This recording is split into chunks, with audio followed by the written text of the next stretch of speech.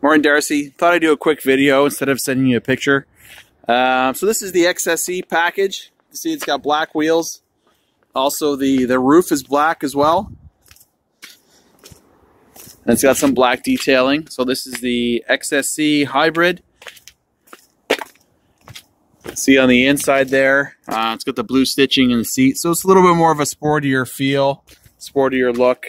Um, and then I also have a Hold on a sec.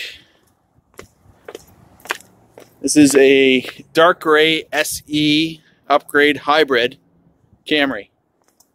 So sportier front end, more aggressive wheel, uh, interior more sporty as well.